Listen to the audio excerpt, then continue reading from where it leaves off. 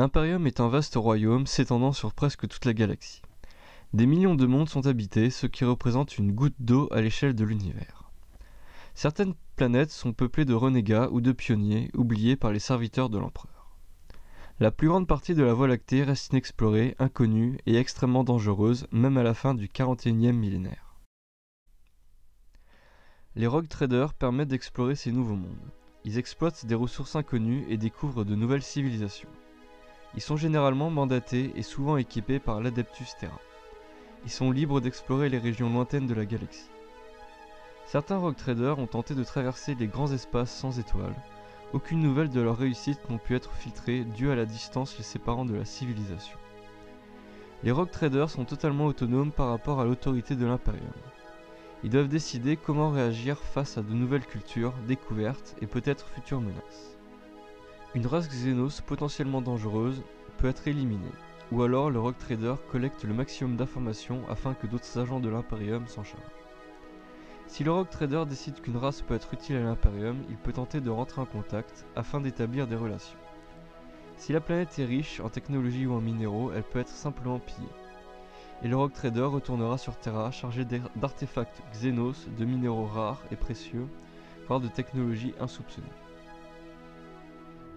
Il est inutile de préciser que le Rogue Trader a besoin de ressources considérables pour mener à bien sa mission. Des vaisseaux, des troupes et du matériel.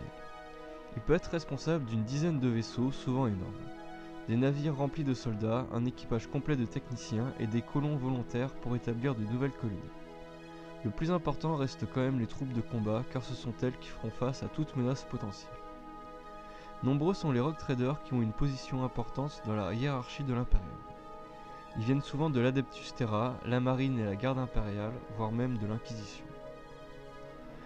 Opérant au-delà du contrôle impérial, les rogue traders représentent la loi à eux tout seuls. Certains sont des individus très pieux apportant la lumière de l'empereur dans des contrées lointaines, tandis que d'autres sont de simples pirates et scélérats glorifiés. Beaucoup de rogue traders sont pleins d'assurance et sont des diplomates charismatiques. Souvent charmants et maladroits, ils peuvent devenir des tueurs endurcis quand la situation l'exige. Ils peuvent aussi avoir une personnalité instable.